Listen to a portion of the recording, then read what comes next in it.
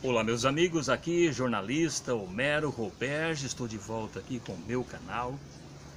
Apesar do local que estamos aqui, mas nós vamos contar uma história mirabolante, uma história assustadora, verdade. Vocês sabem, eu estou aqui no município de Capivari de Baixo, sul de Santa Catarina. Aqui pessoal, é existe um cemitério, como toda cidade, nós temos um cemitério. E um conhecido meu, esse final de semana, no domingo, foi. Ele mora em outra cidade, ele veio passear em Capivari, rever os amigos. Ele foi no cemitério visitar o túmulo dos seus parentes, dos seus entes queridos que lá estão. Foi ao cemitério, o cemitério no domingo normalmente é deserto, principalmente no mês de janeiro, fevereiro as pessoas costumam ir para as praias, litoral, passear. E normalmente no domingo aqui o cemitério é bem deserto. O cidadão entrou, ele não quis se identificar, pediu para não, ele não quis dar entrevista diante das câmeras do canal Homero Roberge. Apenas me contou a história e eu estou repassando para vocês essa história sensacional. Fica até o final, é muito interessante. Pode ser um caos, pode ser uma invenção, pode ser uma ilusão de ótica, capeta, pode ser uma ilusão de ótica, mas eu tenho certeza absoluta que tem um fundo de verdade, porque em cima dessa terra, embaixo desse céu, tudo é possível, não é verdade?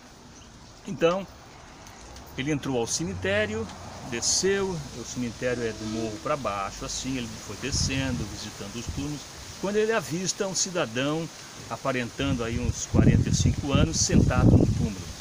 Olhou aquilo, ficou meio assustado, mas cumprimentou, deu bom dia, o cidadão apenas balançou a cabeça.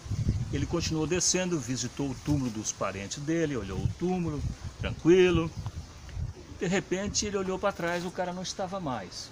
Tudo bem, quando ele viu, levou até um susto, o cara estava sentado em outro túmulo lá no final do cemitério, bem próximo ao muro no final. O cara sentado lá, ele disse, opa, meio assustador, será? Então ele foi descendo, foi até lá, mas quando ele estava descendo o cemitério, ele se distraiu olhando as fotos que estavam nos túmulos, as pessoas que já falecidas, amigo dele. Quando ele olhou, o cara não estava mais. Como?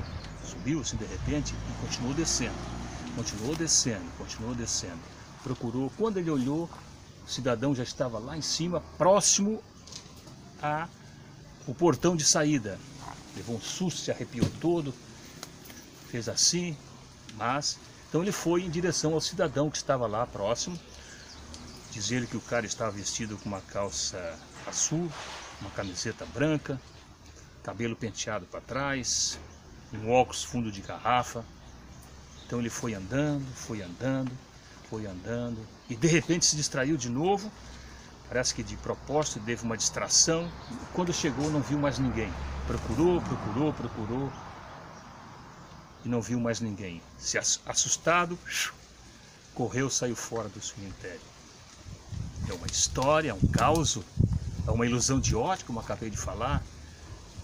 Mas, como dissemos, almas penadas existem, os espíritos realmente estão andando por aí, está pedindo socorro, ele queria alguma coisa, dizer alguma mensagem, dizer, dizer que estava precisando disso ou daquilo, não se sabe.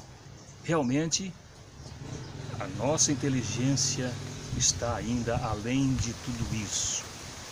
Vamos procurar entender melhor se a alma penada existe ou não.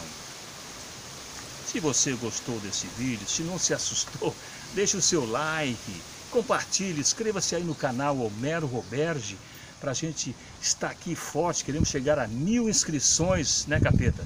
Temos que chegar a mil inscrições para depois ir a 10 mil e assim sucessivamente para a gente ter condições para levar bastante informação, história aqui da região do sul de Santa Catarina, causos como esse, você que tem algum caos, você aí, tu aí que está vendo o canal Homero Roberto, tiver alguma história, pode mandar para mim.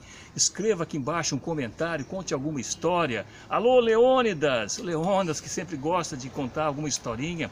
Tu deve ter alguma história legal, Leona. Conte aqui nos comentários uh, do canal Homero Roberge, deixando o seu like, inscrevendo-se compartilhando com seus amigos. Um abraço e a gente, pessoal, se vê no próximo vídeo. Tchau, pessoal. Até lá. Um abraço. Tchau.